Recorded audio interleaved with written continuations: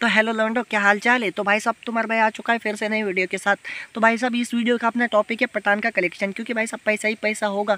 इतना ज़्यादा कलेक्शन कर चुकी है अपनी पठान मूवी तो भाई साहब, देखो, शाहरुख खान की भी करियर की हाईएस्ट ग्रॉसिंग मूवी बन चुकी है, जो कि साढ़े मतलब एक हज़ार पाँच सौ करोड़, एक हज़ार पचास करोड़ बॉक्स ऑफ़िस कलेक्शन कर चुकी है। तो गाइज़ ये हुई ना खुशी वाली बात। तो तुम भी सब्सक्राइब खुशी खुशी में सब्सक्राइब कर दो और हिलाना छोड़ दो, घंटी का आइकन नहीं म- अच्छा। खान का कलेक्शन इतना कर चुकी है भाई साहब, तुमको अभी मैंने बताया, इतना पैसा कमा चुकी है, इतना पैसा कमा चुकी है। वाई आर ने जितना 2022 में अक्षय कुमार पे फूका था, सबका सब वापस आ चुका है। क्योंकि भाई साहब, देखो, हम कलेक्शन की बात करें तो हिंदी बेल्ट में तुमको पता ही होगा 520 करोड़ अभी तक कलेक्शन कर चुकी है 521 करोड़ अभी तक हो चुका है।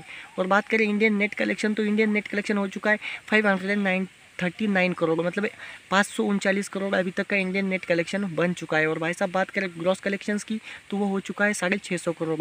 और टोटल वर्ल्ड वाइड में thousand and forty three crore के करीबन तो गैस देखो, एक हज़ार फोर्टी थ्री करोड़ इसका कलेक्शन हो चुका है। तो गैस ये तो खुशी वाली बात है। तुम भी सब्सक्राइब मारो सपोर्ट करो तुम्हारे भाई को जितना हो सके उतना।